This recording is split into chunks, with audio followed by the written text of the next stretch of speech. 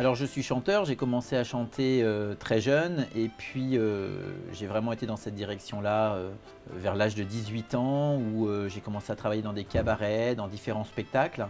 Puis en 2019, j'ai eu la chance de faire le Zénith avec Hélène Ségara et là ça a été la révélation pour moi où j'ai voulu faire ce métier.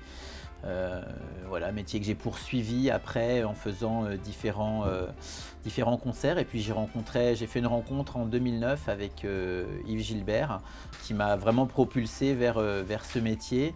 et un an plus tard, grâce à Yves Gilbert, cette rencontre avec, avec Serge Lama, avec qui j'ai coécrit mes deux premiers albums.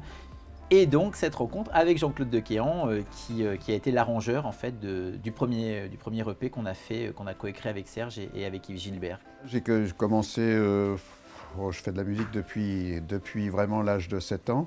J'ai commencé à écrire des chansons vers l'âge de 17 ans, 18 ans. Après, j'ai commencé à chanter. j'ai commencé à chanter. J'ai fait une petite carrière d'une dizaine d'années.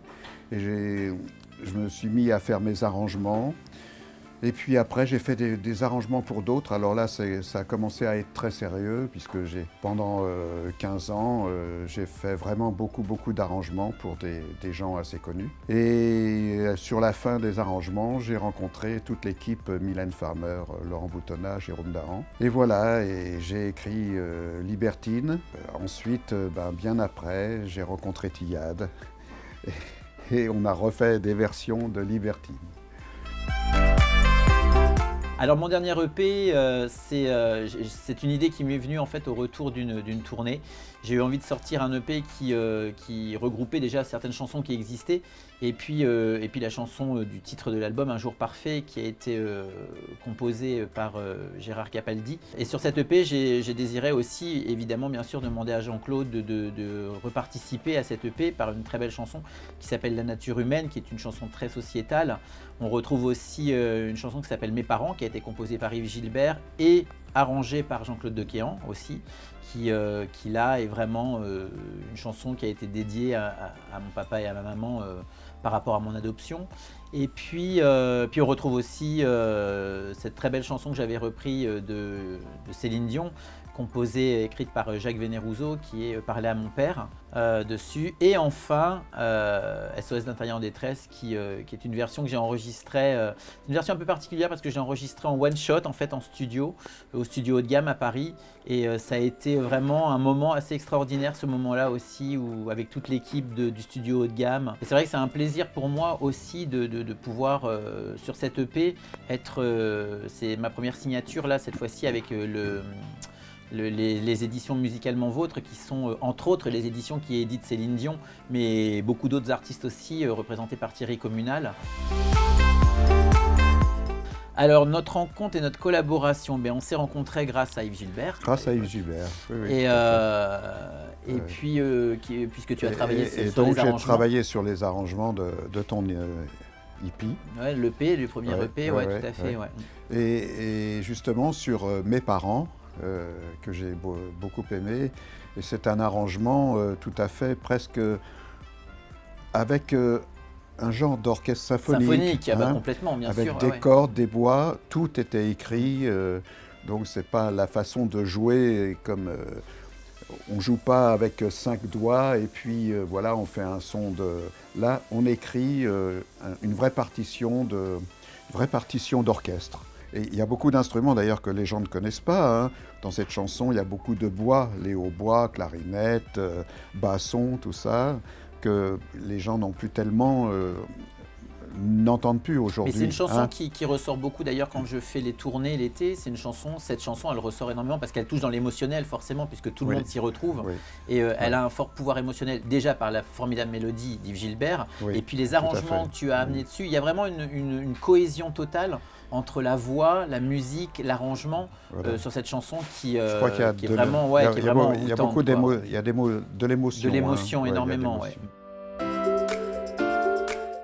Alors notre collaboration sur la nature humaine, euh, c'est une chanson que Jean-Claude m'a présentée il y a quelques années maintenant, enfin il y a 2-3 ans je crois, je sais plus, c'est à peu près ça. Et euh, on avait enregistré cette chanson qui au départ était très déroutante pour moi parce que c'est pas du tout une chanson où j'ai l'habitude d'aller euh, musicalement. C'est pas euh, Jean-Claude a un univers qui est, euh, qui est très spécial. D'ailleurs, on y Mhm. retrouve beaucoup l'univers Farmer hein, dans, dans cette chanson, un univers qui est, Oui, oui, oui, qui est très avec avec des voix, beaucoup de voix de tête, un texte alors qui est absolument formidable parce qu'il est très Mhm. sociétal. On touche euh, justement à tout ce qui est euh, le- le- les migrants, le fait de les Mhm. recevoir chez nous, mais que en fait cette chanson s'appelle La nature humaine. Pourquoi? Parce que la nature humaine c'est le bon et le mauvais. Et dans la chanson on dit euh, Ecce homo is the greatest, Ecce homo is the worst, qui veut dire l'homme est bon L'homme est l'homme bon est- ou, l'homme est- mauvais. Il est capable du meilleur ou du pire. Ou du pire, hein, voilà, c'est ça, C'est la nature humaine. Et quand tu m'as présenté ça, je me suis dit, c'est vrai qu'on est, euh, on est malheureusement dans un, dans un thème qui est toujours d'actualité. Euh, Ouais, et c'est euh, vrai. et c'est vrai que cette chanson est très bien écrite, elle est très drôle parce que c'est vrai que je- je- ce n'est- pas du tout mon univers de, de grandes chansons, de, de, de- mais, euh, Bah, moi, mais elle est éclatante. hein. Moi, je suis partant parce que j'estime que quand on a des, des voix comme toi, comme, il faut en profiter.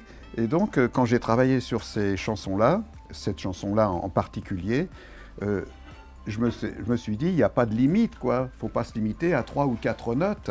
Il faut, il faut toute l'étendue du spectre. Donc, effectivement, j'ai travaillé sur l'étendue du spectre. Ah oui, Ce je qui est- je m'en qui souviens. est des- très- ce qui est très évidemment difficile et c'est une vraie performance. Mais euh, pourquoi s'en priver?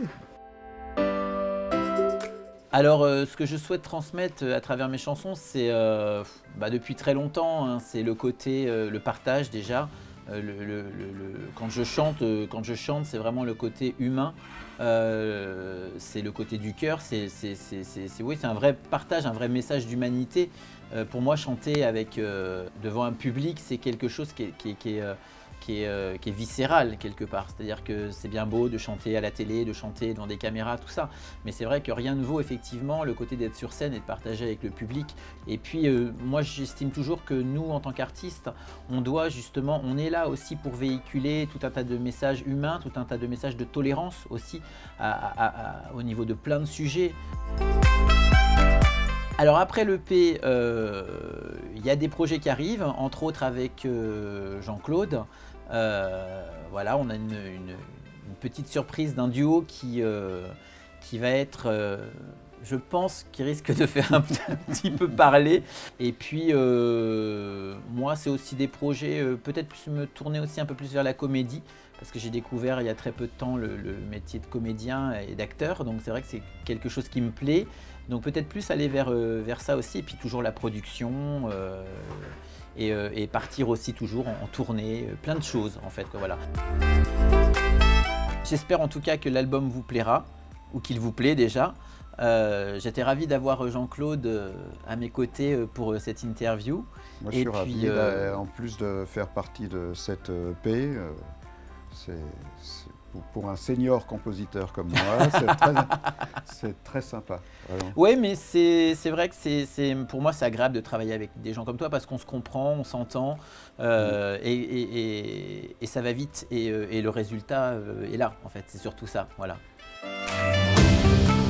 Alors pour me retrouver, ben, c'est euh, simple, il y a déjà le site internet www.tiad.com, euh, Facebook, euh, Tiad officiel, Tiad Singer, sur Twitter, Tiad et sur Instagram, Tiad officiel.